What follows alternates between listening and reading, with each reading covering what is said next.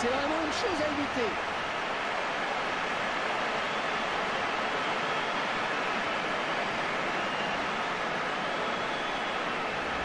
Le joueur de Real qui vient tromper les gardiens. Le gardien qui ne peut plus voir le ballon rentrer dans la cage, ce qui sera magistralement frappé.